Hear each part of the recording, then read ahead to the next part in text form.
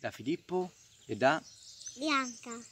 Oggi vi parliamo di un animale veramente eccezionale. Bianca chi è? È lo squalo? No, È il delfino?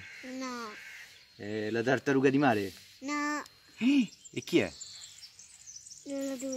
L'oloturia, chiama- conosciuta anche con il nome di Cetriolo di mare. cetriolo di mare. È veramente incredibile. Andiamola a conoscere.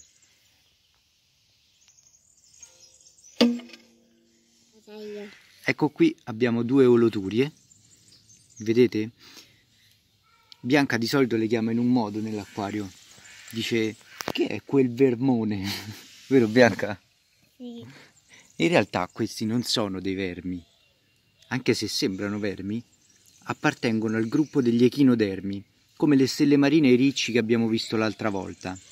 Però non gli assomigliano per niente, perché a differenza dei ricci e delle stelle marine, loro hanno una bocca da questa parte e di qua c'è il sederino, l'ano.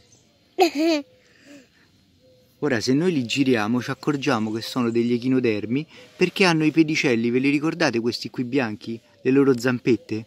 Con questi loro riescono a muoversi, che loro camminano sulla sabbia o sugli scogli con quei pedicelli lì. Li posso toccare? Certo, vai, fagli una carezzina.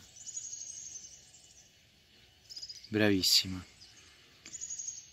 Le luturie hanno dei superpoteri, perché come diceva Bianca che gli sembrano dei vermoni, anche ai pesci potrebbero sembrare dei vermi e quindi li potrebbero scambiare delle- per delle facili prede, perché loro camminano così piano piano, non sono velenose, non sono veloci, non hanno una tana che li può difendere e quindi sembrerebbe facilissimo poterseli mangiare.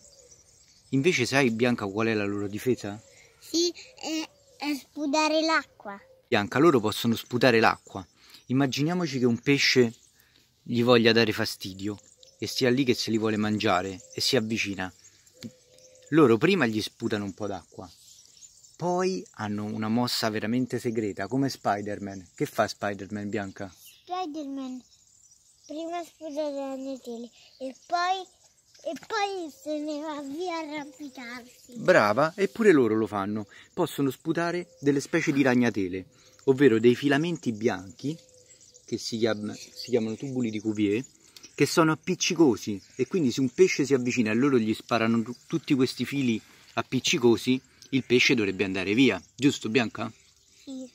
Però se il pesce è testardo e continua ad andare lì e dire io me lo voglio proprio mangiare questo oloturia, loro sape- sai che fanno?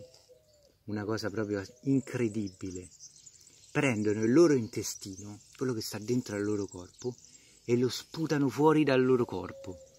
In questo modo il pesce dirà, vabbè, è inutile che io continuo a provarmi a mangiare tutta questa oloturia, cioè qua, questo bel intestino, mi mangio questo intanto, giusto?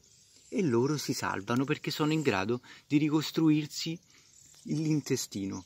E questo è un altro indizio che ci fa capire che sono degli echinodermi, perché possono rigenerare delle parti del loro corpo. Come facevano le stelle marine con le braccia, loro lo fanno con gli organi interni. Però Domanda per te, che cosa si mangiano le oloturie? la sabbia. La sabbia? E che ci trovano dentro la sabbia? Mm.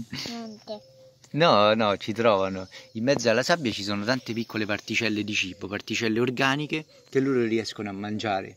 Però fanno- hanno un ruolo ecologico molto importante, perché loro appunto si mangiano la sabbia e in un certo senso la ripuliscono. Guardandolo così dal basso si vede che sono parenti delle stelle marine. Sembra un braccio de- di una stella.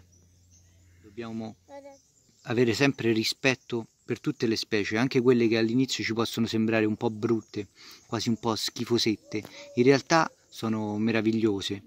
Pensate che in questo momento le oloturie sono in pericolo, anche le nostre oloturie che vivono nel mar Mediterraneo, perché in Cina e nei paesi asiatici le mangiano e purtroppo c'è un mercato nero, mercato di frodo, di persone che anche in Italia le catturano in mare, ne prendono tantissime e le vendono in Cina.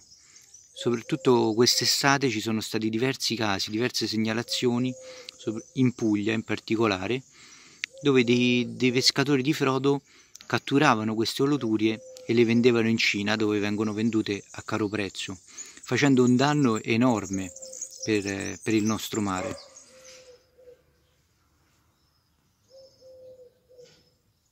A tutti Alla prossima! volta restate a casa perché c'è il coronavirus. Ciao!